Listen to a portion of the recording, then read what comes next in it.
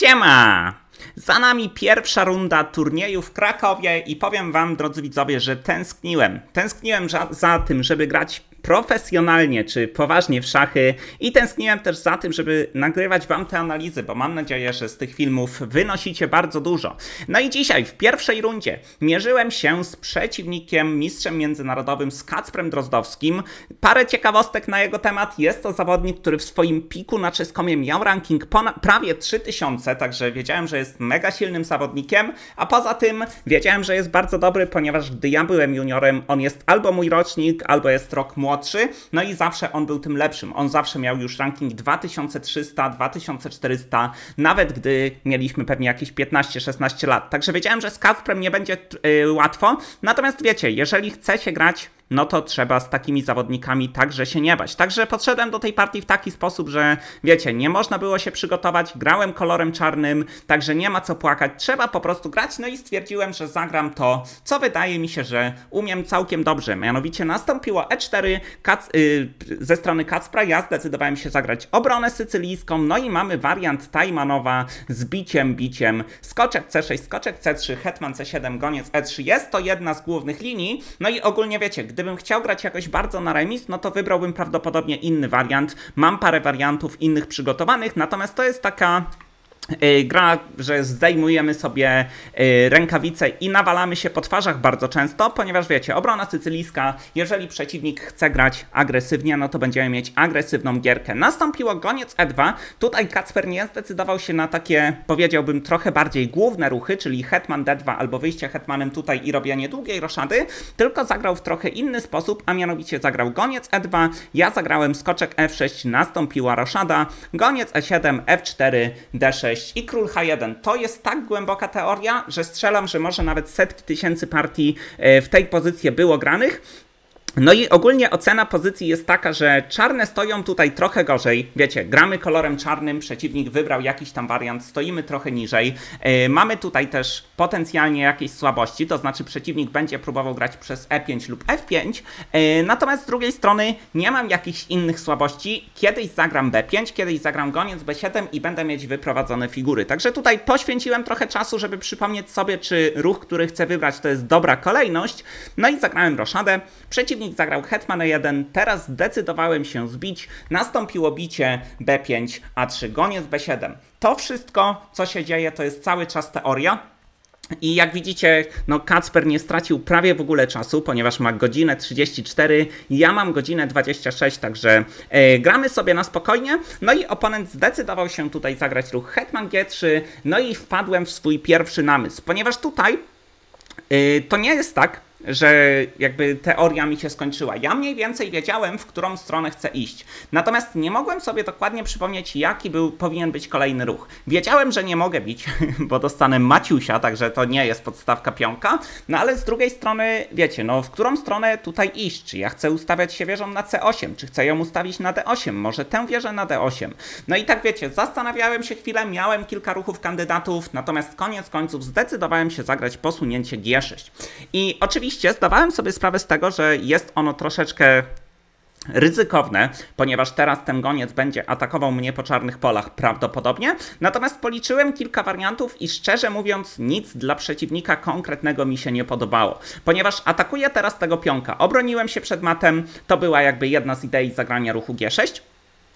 E, natomiast ruchy typu F5, no jakoś mi się nie podobały. Komputer mówi, że to jest najlepsze, że oponent powinien tutaj zagrać F5 i ma jakąś tam delikatną przewagę. Natomiast Kacper zagrał po prostu goniec F3. Tutaj warto zauważyć, że po ruchu goniec D3 Przeciwnik ma kłopoty, ponieważ ja gram skoczek H5 i jak przeciwnik gdziekolwiek sobie odejdzie, ja mogę poświęcić figurę, no i czymkolwiek nie odbiję, ja gram E5, odbijam figurę, mam parę gońców i mam super pozycję. Dlatego w ten sposób przeciwnik nie mógł grać, zagrał on goniec F3, no i tutaj znowu zastanawiałem się, bo to już jest pozycja, w której trzeba pomyśleć, w którą stronę chcę rozgrywać tę partię. Czy chcę raczej dążyć do jakiegoś ruchu typu D5? Ja bardzo szybko to odrzuciłem, bo stwierdziłem, że po D5 przeciwnik mi to wybije i będę mieć izolowanego pionka więc stwierdziłem, że zagram goniec C6. I to był ruch, który mi się osobiście mocno podobał, ponieważ goniec C6 sprawia takie praktyczne problemy, delikatne przynajmniej przeciwnikowi, yy, ponieważ tak, Grając goniec C6,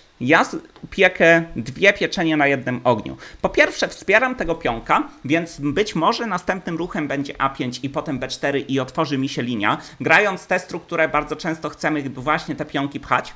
A być może zagram ruch hetman b7 i będę atakował po tej przekątnej, więc to są takie dwa ruchy. Zauważcie też, że dla przeciwnika teraz nigdy jakieś ruchy typu e5 nic mu nie dają, no bo w zasadzie co miałby osiągnąć? Ja planowałem odejść sobie skoczkiem, jak przeciwnik to zbije, ja to biję i wszystko jest super. Dlatego przeciwnik zagrał ruch wieża z A na E1. No i tutaj znowu wpadłem na dość długi namysł, ponieważ to, co na początku chciałem zagrać, to jest posunięcie A5, żeby zgodnie pla z planem decydować się na posunięcie B4. Natomiast to, co mi się trochę nie podobało, to to, że stwierdziłem, że przeciwnik gra wieża E1, ponieważ chce ustawić skoczka tutaj. No i wiecie, ja zagram sobie B4, przeciwnik może to zbić, ja to zbiję, przeciwnik wprowadzi skoczka na F2 i nawet jak ja zagram jakieś goniec B5, ta wieża się cofnie i co mi to realnie dało? Tego, ta wieża nigdy mi się nie przyda na tej otwartej linii, przynajmniej prędko mi się nie przyda, bo ten pionek zawsze jest broniony, więc tak kurczę, doliczyłem do tego momentu i stwierdziłem, ok, pewnie mogę to grać, ale ja będę mądrzejszy od przeciwnika. Zagram hetman b7. I teraz problem, jaki ma przeciwnik, to to, że teraz nie może zagrać ruchu skoczek d1, no bo ja po prostu zbiję tego pionka, czyli zagrałem przeciwko idei, idei przeciwnika.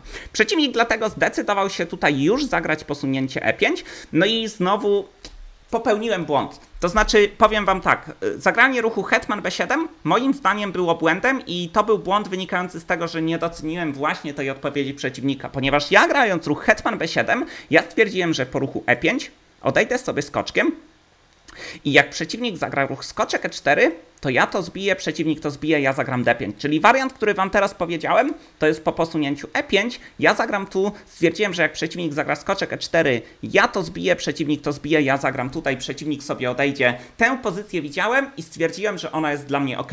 Komputer do końca się z tym nie zgadza, natomiast moją logiką było to, że pozycja jest trochę pozapychana, ja zaraz wejdę figurą na c5, jeszcze nie wiem czy gońcem czy skoczkiem, i będziemy sobie grać dalej w szachy. Wymieniłem swojego gońca, ustawiłem wszystkie pionki na białych polach, stwierdziłem, że wszystko jest ok. Natomiast gdy oponent zagrał e5, to ja zdałem sobie sprawę z tego, że mój wariant, mój wariant ma pewien szkopuł. Ponieważ jak zagram tu, to przeciwnik może najpierw to zbić jak ja to zbiję i teraz on wejdzie skoczkiem na e4 i ja się cofnę, próbowałem doliczyć tę pozycję. Czy ona jest dla mnie ok, czy nie jest ok, ale przyznam wam szczerze, po prostu mi się nie podobała, ponieważ ten goniec jest totalnym szefem, ten skoczek zawsze będzie mi groził różnymi nieprzyjemnymi wejściami, y, a moje figury ładnie wyglądają, ale szczerze mówiąc niewiele robią. Także tutaj popełniłem trochę błąd, natomiast y, byłem w stanie z niego wyjść, ponieważ zdecydowałem się zbić. Tutaj dodam, że początkowo też liczyłem ruch skoczek E8 i teraz jeśli nastąpiłoby skoczek E4, no to tak stwierdziłem, że kurczę, jeżeli teraz pójdę na tę samą pozycję, to problem jest taki, że y, teraz mój skoczek nie za bardzo ma jak wejść do gry. Także tutaj stwierdziłem, ok, to najpierw bijemy, przeciwnik bije i teraz zagram skoczek E8. I pomimo tego, że pozycja moja wygląda pasywnie, to okazuje się, że póki co gra, grałem naprawdę bardzo dobrze. Właściwie rozwiązałem większość moich problemów w debiucie. Oczywiście oponent ma otwarte linie, oponent potencjalnie będzie mógł mnie jakoś atakować po nich, ale na dobrą sprawę, jeżeli wymieni się jakaś para figur, no to ten jego pionek na e5 może być słaby. Także stwierdziłem, dobra, gramy sobie, nie musi być tak bardzo źle. Także nastąpiło skoczek e4, ruch, który ja uważałem, że też jest najlepszy. Nastąpiło wieża D8, no i oponent zagrał C3. I mamy taką pozycję i zacząłem tutaj myśleć, bo w poprzedniej pozycji, jeszcze tutaj muszę cofnąć, trochę się zamotałem, ale myślę, że to jest ważne. Ja policzyłem, że jak nastąpi skoczek E8, przeciwnik zagra tu, to ja mogę spróbować zagrać skoczek G7.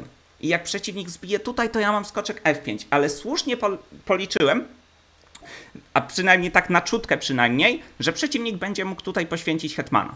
Pyk, pyk, pyk. I ta pozycja była dla mnie trochę dziwna, no bo tak stwierdziłem, cały czas grozi skoczek F6, jak kiedykolwiek tutaj zbije, to przeciwnik to bije, ja to biję, goniec C4 i są dwa gońce wieża przeciwko hetmanowi. I to jest przegrana pozycja. Więc to jest bardzo ważne, ponieważ yy, przechodząc do tej pozycji, która była w partii, nastąpiło bicie, bicie, skoczek E8, yy, wieża, yy, skoczek E4, wieża D8 i C3, ja stwierdziłem, ok, kurczę, czyli to nie działa, no bo pokazałem wam wcześniej wariant. Skoczek G7 po prostu nie działa, no to muszę coś grać. I tak myślałem.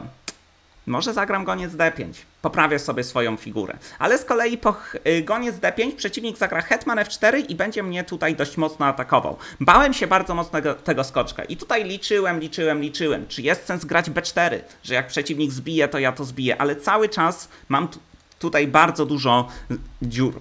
Więc nie do końca wszystko mi się podobało, więc stwierdziłem, ok, stoję pewnie trochę gorzej, muszę podjąć jakąś męską decyzję. I zdecydowałem się zbić na e4, bo stwierdziłem, że ok, przeciwnik ma parę gońców, ja stoję trochę pasywnie, ale jak się tak zastanowicie, to ten goniec za wiele tutaj nie robi. Ten goniec tutaj jest takim trochę trupem. Ten goniec niby fajnie strzela, ale on strzela w pionka na G6, który jest broniony dwukrotnie. Więc stwierdziłem, że to co będę robił dalej, to gdzieś tego skoczka sobie przerzucę i będzie git. A jeżeli uda mi się wymienić tę parę gońców, to już w ogóle powinno być spoko. I to wszystko, co wam powiedziałem, niestety, ale jest błędne, ponieważ powiedziałem wam, że skoczek G7 tutaj nie działa. Ja tak założyłem, ale okazuje się, że skoczek G7 jest tutaj normalnym ruchem. Wcześniej to nie działało, bo tutaj i tutaj był pionek i było to bicie i to poświęcenie hetmana, ale w tej pozycji działa i skoczek G7 jest najlepszym ruchem, po którym przeciwnikowi, szczerze mówiąc, trudno jest jakieś posunięcie sensowne wykonać, bo ja w następnym ruchu wejdę sobie na F5 prawdopodobnie, no i to jeszcze ja mogę tutaj przechwytywać. Więc tak jakby straszna głupota z mojej strony. Jakoś tak wyszło, że cały czas naprawdę dobrze liczyłem warianty, naprawdę rozwiązywałem te problemy w taki sposób, w jaki moim zdaniem powinienem rozwiązywać i to jest pozycja, którą komputer mówi, że jest 0-0-0 i to tylko w przypadku, jeżeli przeciwnik zagra dobre posunięcie ale ja niestety zbiłem na e4. I nadal nie czułem, że ta pozycja musi być dla mnie jakaś zła, bo zagrałem hetman c7, przeciwnik zagrał hetman e3, moim zdaniem bardzo dobry ruch, ponieważ jeżeli tylko oddał mi jed, oddałby mi jedno posunięcie, typu nie wiem, wieża c1 zagrajmy, to po koniec c5 już jest ok. Wymieniają się te figury, przeciwnik będzie miał słabego pionka na D4 prawdopodobnie, wszystko jest spoko. Ale przeciwnik zagrał przeciwko mojemu planowi. Ja zagrałem wieża C8, przeciwnik zagrał B4, ja zagrałem skoczek G7 teraz, co jest bardzo dobrym ruchem, w sensie najlepszym według komputera, i przeciwnik zagrał G4. I teraz wpadłem na bardzo ciekawy pomysł, bo ja sobie pomyślałem tak. Nie mogę zagrać hetman C4, bo oponent ma goniec B7. Ale potem zobaczyłem, że dzięki temu, że wymusiłem ruch G4, to teraz jak zagram hetman C4 przeciwnik zagra tutaj, to ja gram po prostu tak. I przeciwnik nie zdobywa tego pionka, ponieważ po hetman c6 ja zdobywam figurę. Więc stwierdziłem, ok, no to lecimy. Gram hetman c4, przeciwnik nie ma mnie tu w żaden sposób za bardzo atakować, ja zaraz wejdę hetmanem i będę przeciwnika atakował. Tylko, że przeciwnik zagrał wieża f3. I zdałem sobie sprawę z tego, że przegrywam partię. Ta partia posypała się przez jedną błędną decyzję. I było to dość smutne, ponieważ teraz ja po prostu nie mam obrony przed tym, że przeciwnik zagra wieża F3, hetman H6 i praktycznie da mi mata. To, co powinienem w tej pozycji robić, to po prostu stać w miejscu. Zagrać hetman D8. Teraz jak nastąpiłoby wieża F3, to już ty, tego hetmana nie wpuszczam, bo mój goniec kontroluje tę przekątną. Także w taki sposób grać powinienem. A ja rzuciłem się do przodu Nastąpiło wieża F3. No i prawda jest taka, że jeszcze próbowałem się trochę bronić. Zagrałem goniec H4 na taką minimalną pułapkę, ponieważ przeciwnik mógłby stwierdzić, dobra, święcimy, ponieważ po biciu jest hetman H6, no ale tutaj ja mam ruch hetman F1, tutaj, no i na końcu mogę poświęcić wieżę. No i gramy sobie taką pozycję, która powinna być dla mnie ok, no bo mam dwie wieże w zamian za hetmana. Natomiast przeciwnik jest troszkę silny, no, zbyt silnym na takie sztuczki. Nie podpalił się, że będzie tutaj atakował. Nastąpiło wieża G1. Ja jeszcze tutaj spróbowałem zabunkrować. Natomiast przeciwnik zagrał no, najlepsze ruchy. Bo wieża F6, wieża wchodzi na H6. Ja jeszcze zagrałem hetmanem, ale po biciu po prostu się poddałem. I partia zakończyła się moją porażką. I kurczę, powiem wam tak. Czy fajnie, że przegrałem? No nie fajnie. Wolałbym wygrać, wolałbym zremisować. Ale grałem tak totalnie bez kompleksów. No, nie wiem, no szkoda, bo to była taka jedna decyzja. Jedna błędna decyzja, której nawet trudno jest mi wam wytłumaczyć, dlaczego to się stało. W sensie, jak pokażę wam tę pozycję, to gwarantuję wam, że w tej pozycji pierwszym ruchem, o którym każdy szachista na moim poziomie myśli, jest skoczek G7 ale ja przez to, że te kilka ruchów wcześniej jeszcze z tymi pionkami odrzuciłem to skoczek G7, to tak jakby w mojej głowie zostało to zapomniane. No i jest mi trochę przykro, bo wydaje mi się, że ta pozycja, nie chcę powiedzieć, żebym jej nie przegrał. Kasper jest mega silnym zawodnikiem, Kasper jest zawodnikiem, który ma dużo więcej doświadczenia prawdopodobnie w takich pozycjach, ale byśmy powalczyli. A tak to trzy godzinki, no i partia została zakończona. Mogę też wam powiedzieć, że to było trochę niefortunne, że akurat okazało się, że Kacper gra ten wariant kolorem czarnym, więc, więc pomimo tego, że nie mogliśmy się przygotować, to Kacper dokładnie wiedział, w jaki sposób powinien tutaj reagować, a mimo to i tak moim zdaniem zagrałem całkiem dobrze. No jeden błąd na tym poziomie 2450, a z, takimi, z takim zawodnikiem grałem, no to to już było za dużo i Kacper świetnie to wykorzystał. Także tak to jest, drodzy widzowie. Jutro będzie runda poranna. Yy, także filmik może pojawić się trochę wcześniejszą porą niż dzisiaj. Natomiast dzięki wielkie za to, że jesteście. Trzymajcie się cieplutko, trzymajcie kciuki za to, żebym się nie kompromitował już więcej. No i nara. Elo.